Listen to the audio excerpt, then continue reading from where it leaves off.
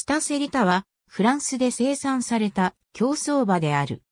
G1 競争の勝ち鞍は2009年のサンタラリ賞、ディアヌ賞、ベルメイユ賞、2010年のジャンロマネ賞、2011年のビバリーディステークス、フラワーボールインビテーショナルステークス。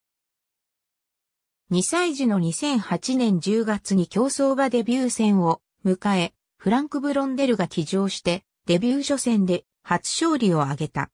しかしその後はレースに出走せずに2歳を終えた。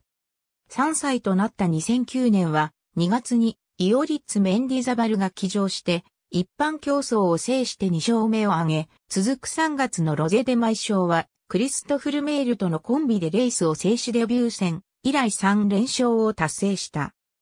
そして5月に重賞及び G1 競争初挑戦となるサンタラリ賞に引き続き、ルメールとのコンビで一番人気に支持されて出走し、レースは、オモババの中2着となった。アーティクルレアに6馬審査をつけて圧勝し、無敗の4連勝で重賞及び G1 競争初勝利を挙げた。続く6月のディアヌ賞では圧倒的な一番人気に支持されて出走。レースでは馬なりで2番手につけ、最後の直線で先頭に立つと2着の玉汁とに4馬審査をつけて圧勝した。休養を挟み、9月のベルメイユ賞ではダーレミの首差の2位に入選したが、ダーレミが5着に膠着となったため繰り上がって優勝。G1 競争3連勝となった。しかし、本番の凱旋門賞では7着に敗れ、デビューからの連勝が6でストップした。4歳となり、指導戦は5月23日のイスパーン賞に出走したが、ゴルディコバの4着に終わった。6月14日のラクープに出走し、逃げ切り勝ちを収めた。7月にイギリスに渡り、ナッソーステークスに出走したが、密偵の2着に敗れた。8月22日のジャンロマネ賞を解消し、G1 競争4勝目を挙げた。10月3日のオペラ賞では一番人気に押されたが、惜しくも2着に敗れた。